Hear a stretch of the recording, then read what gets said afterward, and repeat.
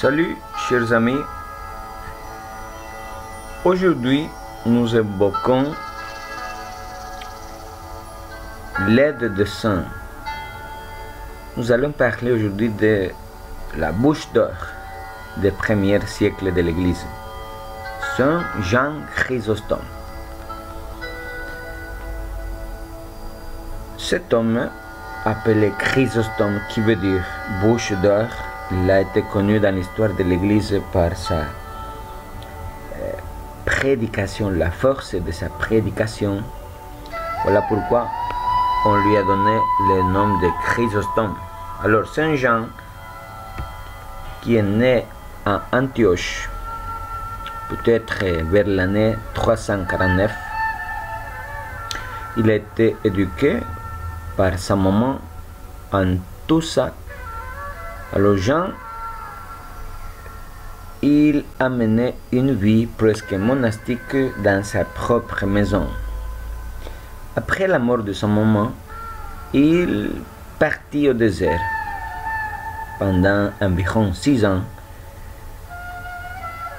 deux années, deux ans, il s'est retiré en totale solitude dans une caverne.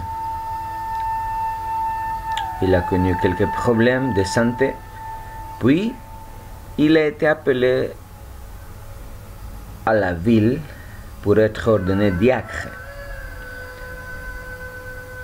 Cinq ans, il s'est préparé pour le ministère sacerdotal et surtout pour la prédication.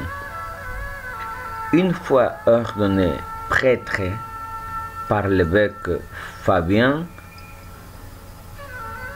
il est devenu un collaborateur pour le gouvernement de l'église Antioche. Jean était préparé pour la prédication. Sa qualité oratoire et la culture profonde, ses connaissances lui ont donné un véritable pouvoir et mission dans l'Église. Un véritable pasteur très doué pour la morale de l'Église. Il été vraiment préoccupé pour transformer la vie, la vie de ceux qui l'écoutaient à la prédication. En 398, Jean d'Antioche, comme je vous ai dit, son nom de baptême, trois siècles plus tard, le, le peuple lui a donné le nom de Chrysostome, le peuple byzantin. Il est devenu le successeur de Netarius à la cathèdre de Constantinople. Il est devenu évêque patriarche de Constantinople. Ce fut la capitale de l'Empire en Orient. Son activité pastorale, son activité d'organisation de l'administration était immense.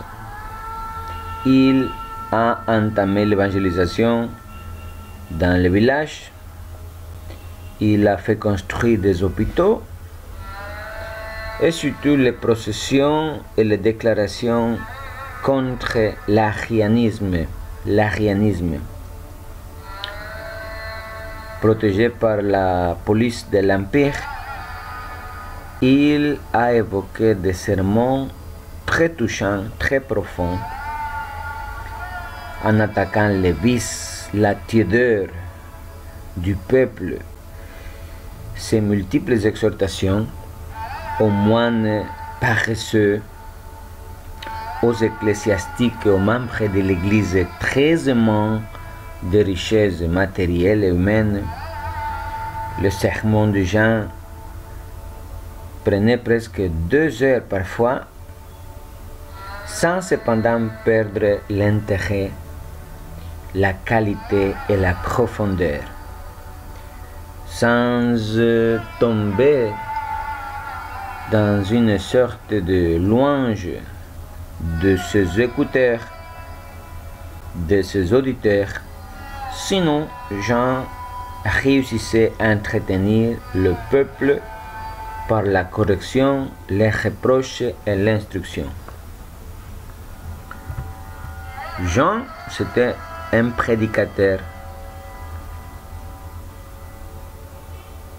terrible. Il n'était pas très doué pour la diplomatie, non? Voilà pourquoi il a trouvé dans son chemin multiples problèmes et intrigues et il s'est fait entourer lui-même des ennemis dans la cour de Byzance.